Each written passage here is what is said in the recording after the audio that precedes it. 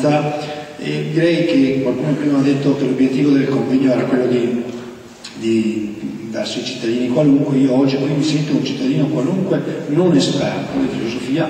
e devo dire che è veramente qualcosa che mi ha molto appassionato per questa mattina e che sarà testimonianza per me da portare poi nell'ambito del mio lavoro. Sì, io ho a che fare tutti i giorni con il dolore, anche questa notte per dire, ero vicino a una famiglia che stava vedendo il suo familiare esalare gli ultimi respiri e quindi sia io, eh, come ci è stato detto, tutti viviamo, abbiamo il dolore che è una parte importante, cioè, anzi che non elimineremo mai nella nostra vita,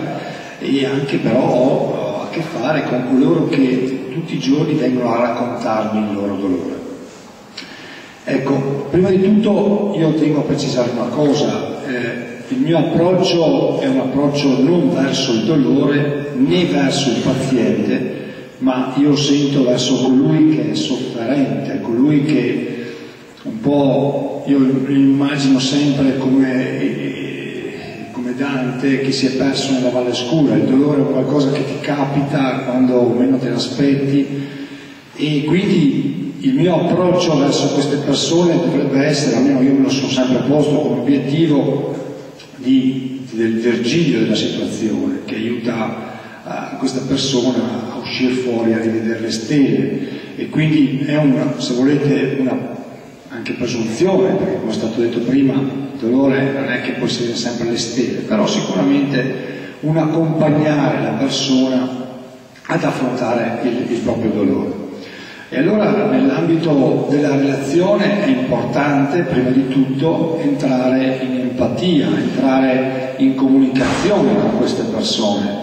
Il nostro lavoro un po' perché si ha sempre tanta fretta, un po' perché eh, si è abituati a ragionare per schemi, per settorialità, eh, non si riesce a mettere a proprio agio, ed è quello che invece mi impongo cerco di fare nel modo che posso,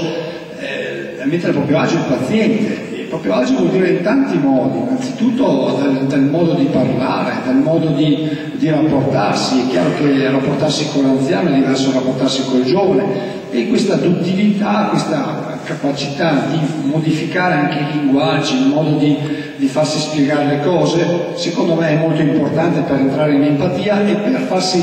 per far aiutare effettivamente questa persona ad affrontare il dolore. E quindi poi il passaggio chiaramente spetta a me, l'obiettività, cioè la, la, la manualità, l'obiettività è importante per saper distinguere quello che è già stato detto, il dolore fisico dal dolore, dal dolore diciamo, psicologico. Il dolore fisico, su quello sicuramente nella medicina moderna ci hanno dato tanti mezzi, abbiamo tante possibilità, abbiamo dei farmaci, però nella pratica quotidiana effettivamente vediamo che questo dolore fisico è modulato, è quasi cambiato tante volte dal dolore psichico. E allora questo lavoro che dobbiamo fare però insieme, cioè medico e paziente, per capire e saper distinguere quanto posso io fare dal punto di vista scientifico, eh,